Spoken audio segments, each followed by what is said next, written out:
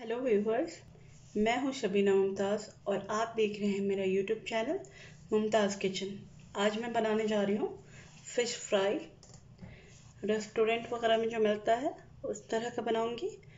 और यहाँ पे उसके लिए मैंने एक के जी फ़िश लिया ये तीनों, तीन फ़िश हैं और ये तीनों एक के जी हैं। इसको अच्छे से क्लीन कर लिया है। और इस तरह का कट कट जो है ये लगाना है। आप देख सकते हैं। डीप कट है, पूरा बोन तक है, ताकि मसाला जो है वो अच्छे से एब्जॉर्ब कर पाए, ये मैरिनेट हो पाए। देख सकते हैं यहाँ पे, पूरा डीप डीप कट है। इसी तरह तीनों को मैंने ले लिया है। ये क्लीन क्लीन किया हुआ है और थोड़ा हल्दी और नमक डाल के धोया हुआ है। चलिए, मसालों में क्या लेना है? ये सूखे मसाले हैं। मसाले में हमें ये बेसन है, डेढ़ चमचा बेसन है, आधी चमची हल्दी है, यहाँ पे अजवाइन है, ये बहुत ज़रूरी है चूँकि ये तला हुआ होता है हेवी हो जाता है और इसकी महक भी से कम होती है फ़िश की। तो ये है अजवाइन है, ये होल अजवाइन है, चाहे तो पाउडर भी ले लें। सॉल्ट है। यहाँ पे ज़ीरा पाउडर है। कश्मीरी लाल मिर्च पाउडर है। गरम मसाला पाउडर एक चम्मच है और ये भी एक चम्मच है। लाल मिर्च पाउडर भी एक चम्मच है और ये वाइट पेपर पाउडर है। आप इसकी जगह ब्लैक पेपर पाउडर भी ले सकते हैं। काली मिर्च का पाउडर वो क्वार्टर टी स्पून है। यहाँ पे मैंने लिया है लहसुन का पेस्ट, चूँकि फ़िश जो है वो थोड़ी उसमें ठीक होती है बेसंदापन होता है तो ये ज़्यादा पड़ता है लहसुन। तो ये डेढ़ चमचा है, और यहाँ पे मैंने अदरक का पेस्ट लिया है। अदरक जो है वो आधी चमची आप लें, इसलिए कि फ़िश टूटने के चांसेस होते हैं। और यहाँ पे लहसुन का पेस्ट है, सॉरी, ये प्याज का पेस्ट है। प्याज का पेस्ट है तो ये एक चमचा लिया है और लहसुन का जो पेस्ट है वो डेढ़ चमचा। एक चमचा प्याज, डेढ़ चमचा लहसुन, ये फ्रेश क्रीम है, ये दो चमचा मैंने लिया है। और यहाँ पे अदरक का पेस्ट है, बहुत थोड़ा पड़ेगा। अदरक अगर आप ज़्यादा डाल देते हैं तो फ़िश आपकी टूट जाएगी। और यहाँ धनिया पत्ती है और नींबू है। आलू को साइड पे रख देते हैं। फ़िश किसी बर्तन में रख लें।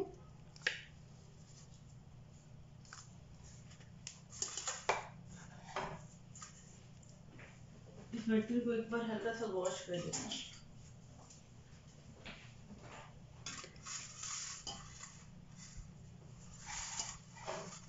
चलिए मसाले बनाना शुरू करती हूँ।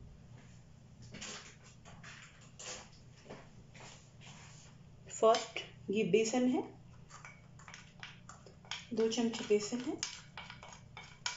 बहुत थोड़ा, आधी चमची तकरीबन आधी चमची हल्दी, अजवाइन, कश्मीरी मिर्च पाउडर एक चमची है।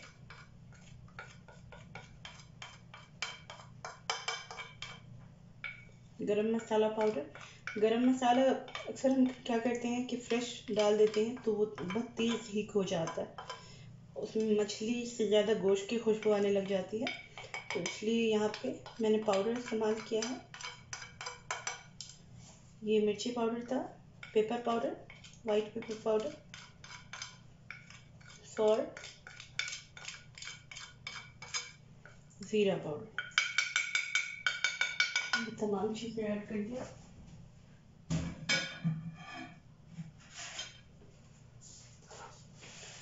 लहसुन लहसुन का पेस्ट है यहाँ पे।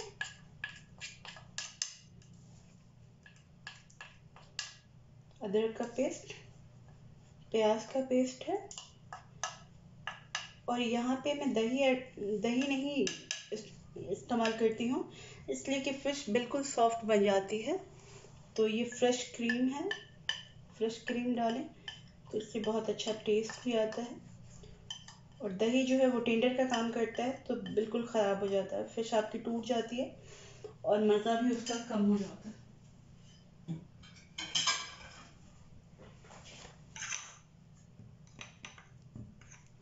यहाँ पे मैंने धनिया रखा था, ये चॉप किया हुआ है, धनिया और एक नींबू को हम इसमें ऐड कर देंगे, नींबू का जूस।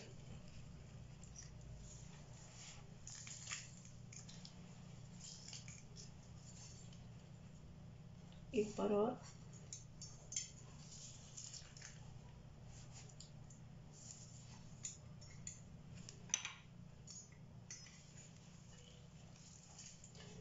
एक के जी फ़िश है तो एक नींबू ठीक है, सही रहता है।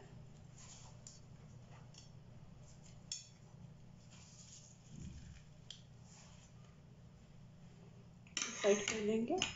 मसालों को अच्छे से मिक्स कर लेती हूँ।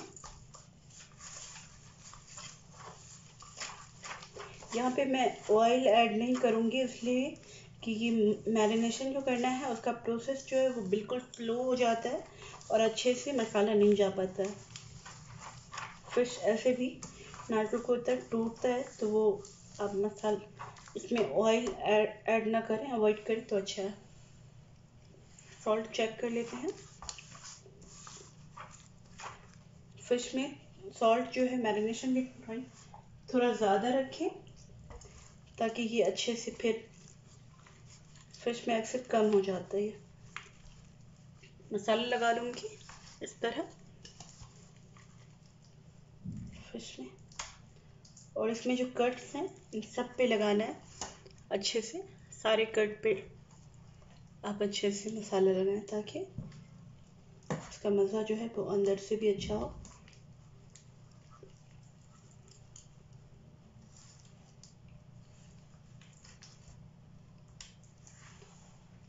मसाला हमारा लग चुका है। इसके अंदर भी इस तरह लगा दें।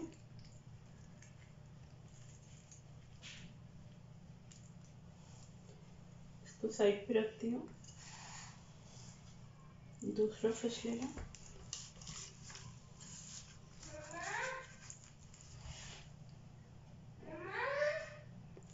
यहाँ मैं अच्छे से मसाला लगा दूँगी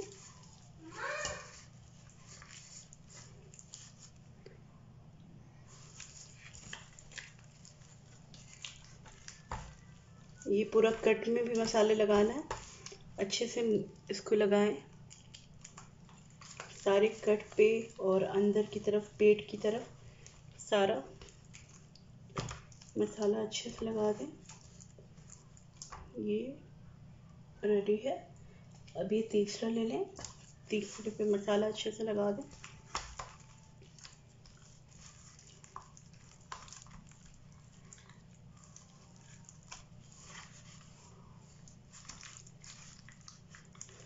फ़िश जो है, ये ऑलमोस्ट मैरिनेट हो चुका है। इसको मैं कम से कम फ़िश जो है, वो लंबा रखना चाहिए, ताकि अच्छे तक से अंदर तक पूरा मसाला जाए। चिकन वगैरह तो जल्दी बन जाता है, लेकिन फ़िश टाइम लेता है, अच्छे से मैरिनेट मैरिनेट होने के लिए। तो इसके मैरिनेशन के लिए कम से कम आप चार से पाँच घंटा इसको फ्रिज फ्रिज में रखें और बिल्कुल जब ठंडा रहे तभी इसको फ्राई करें, तब अच्छा बनता है। और बिल्कुल स्लो आँच पे। तो चलें फ़िश हमारा मैरिनेट हो गया। है तरह दिख रहा है कुछ। दूसरा, तीसरा। फ़िश जो है हमारा मैरिनेट हो गया है।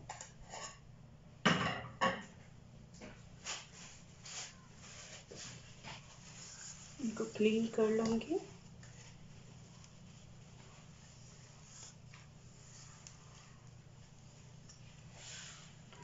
और इसको चार से पाँच घंटे के लिए आप फ्रिज में रख दें।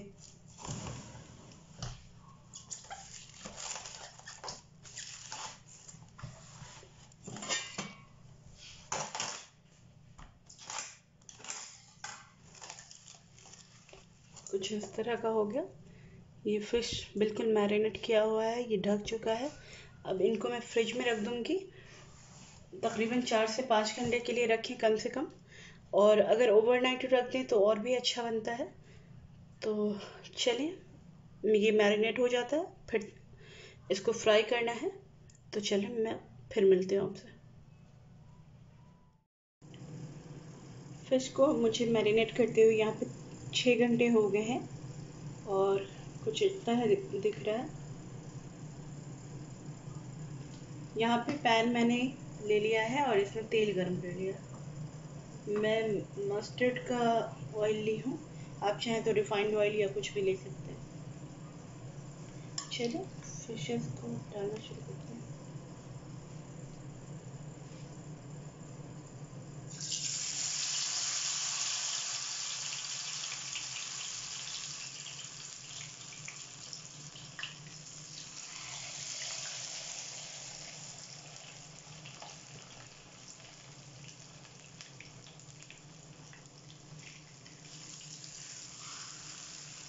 अभी मैंने ऑफ़ कर दिया था और यहाँ पे ऑन कर दूँगी।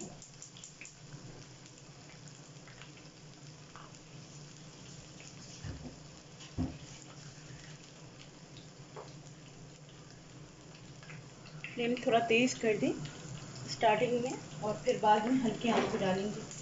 तो फ़िश को अंदर से भी पकना है और मैं मैं यहाँ पे डीप फ्राई नहीं कर रही हूँ। अगर आप चाहें तो डीप फ्राई कर लें, उसका मज़ा और भी अच्छा होता है।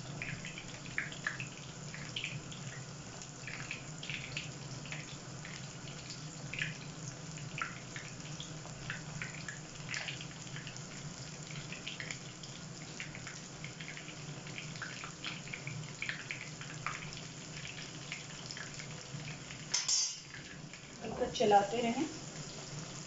ताकि लगी नहीं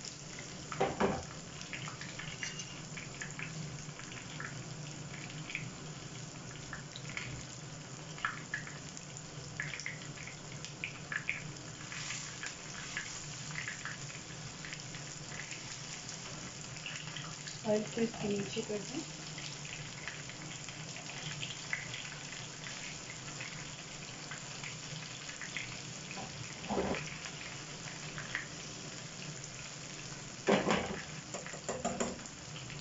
और अभी तेज आँच पे पकाएँगे।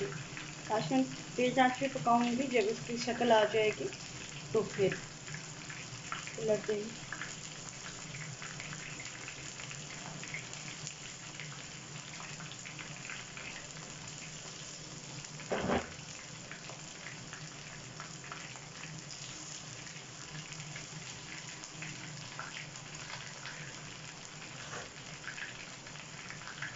तो ये बड़ी फ़िश है तो मैं स्पून की मदद से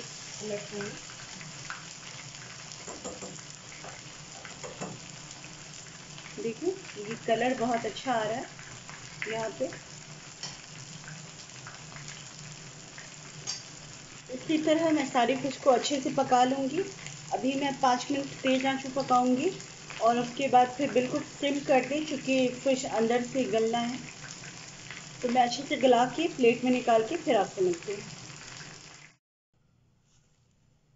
फ़िश हमारा बन के रेडी है।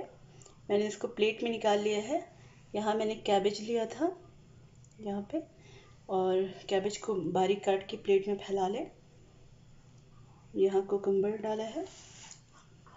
यहाँ पे मैंने लेमन लेमन लिया है और ये इसको इस तरह सजा दूँगी।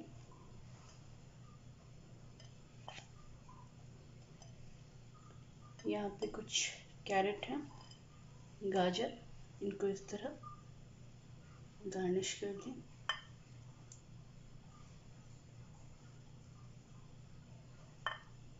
ये हो गई गार्निशिंग अब आप देख सकते हैं, यहाँ पे इस तरह का दिख रहा है। आप किसी बड़े रेस्टोरेंट वगैरह या होटल वगैरह में जाते हैं तो आपको वो इसी तरह पेश करते हैं। तो इसी तरह आप भी बनाएँ, खाएँ और अगर आपको ये रेसिपी पसंद आई हो तो हमें कमेंट कीजिएगा। चलिए दुआ में याद रखें। अल्लाह हाफिज़।